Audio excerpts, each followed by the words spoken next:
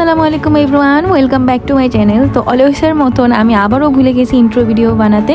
তো যাই হোক না কেন, আমার কলকাতার সায়েন্স সিটি এটা হচ্ছে কি আমার লাস্ট পার্ট এখন আমরা আছি, সেটা হচ্ছে কি সায়েন্স অফ স্পেয়ারে এখানে বিভিন্ন ধরনের ইনভেটর দেখা যাচ্ছে। ইনভেটরগুলোর মধ্যে আছে wave motion acrobatic stick floating ডিক সিওর বয়েস তৈলচিত্রে আঁকা ছবি এক্সেট্রা তো চলে দেখা যাক কি কি আছে।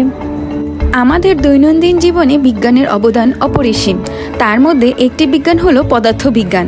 পদার্থবিজ্ঞান সবচেয়ে প্রাচীন শাখাগুলোর মধ্যে একটি। পদার্থবিজ্ঞান হলো সেই বিজ্ঞান যার মূল লক্ষ্য হচ্ছে বিভিন্ন সূত্রের সাহায্যে আমাদের এই চারপাশের মহাবিশ্বের ঘটে যাওয়ার ঘটনাগুলি সঠিকভাবে ব্যাখ্যা করা ও বিভিন্ন গাণিতিক মডেলের সাহায্যে উপস্থাপনা করা।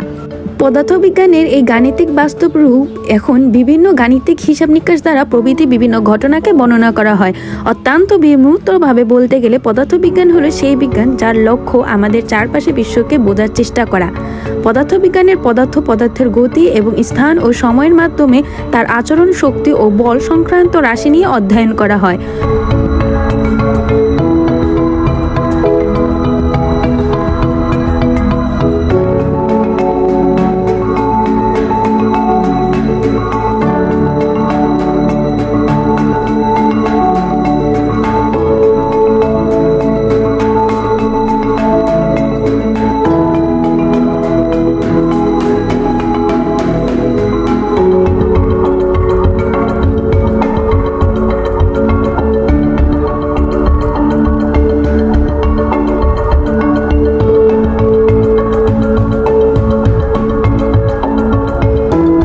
আজকের ভিডিও এ পর্যন্তই। দেখা হবে আবার অন্য কোনো ভিডিওতে so tata take care have fun খুদাফিজ